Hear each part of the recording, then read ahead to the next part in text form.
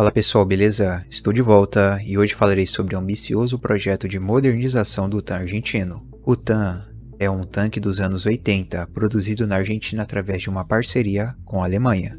O tanque argentino utiliza o veículo de combate de infantaria Marder como base e por isso tem características incomuns, como o motor posicionado na frente do chassi e uma blindagem e peso bem reduzidos.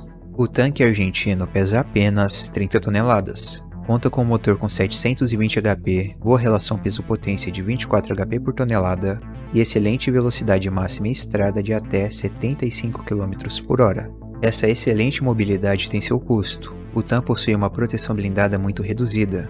Sua construção não conta com módulos de blindagem composta. Sua blindagem é de aço e atinge cerca de 50 mm na parte frontal e 35 nas laterais. Esses números são muito pequenos para um carro de combate.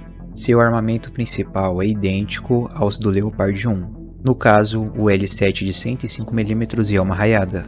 O armamento principal é estabilizado e apoiado por um computador de controle de tiro.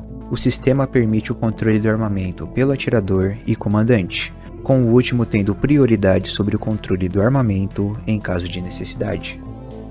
Como podemos ver, o TAM prioriza muita mobilidade e por isso fez muitos sacrifícios na sua blindagem. Seu poder de fogo não é dos melhores, mas para o momento em que surgiu, consistia em um armamento moderno para o cenário da América do Sul.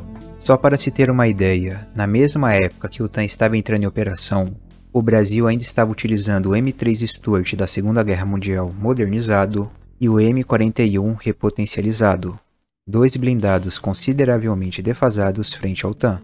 Muito tempo se passou e o TAM não recebeu modernizações relevantes nas últimas décadas. Além disso, novos blindados apareceram na América do Sul, com destaque para o Leopard 1A5 e M60 utilizados pelo Brasil, Leopard 2A4 do Chile e T-72B1 da Venezuela. Esses novos blindados mudaram o jogo da América do Sul, e o T-72B1 e Leopard 2A4 superaram largamente o TAM.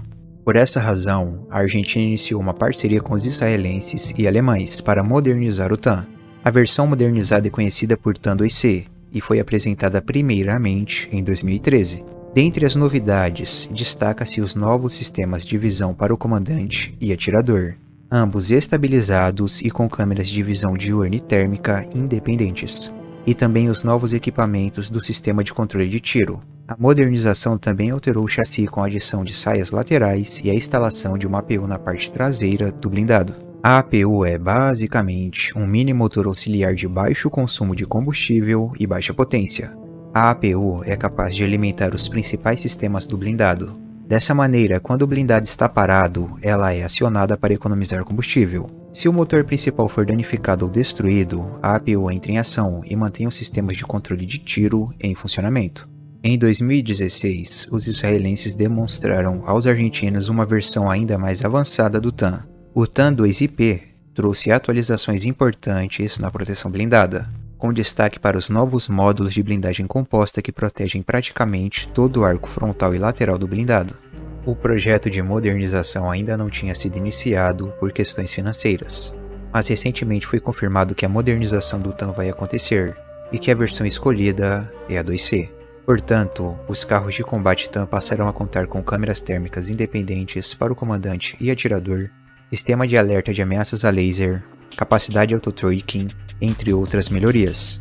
Essa modernização promete transformar o tanque TAN em um blindado muito mais adequado para o combate moderno. Bom, por hoje é basicamente isso. Se gostou, por favor, deixe seu like e se inscreva no canal. Até mais.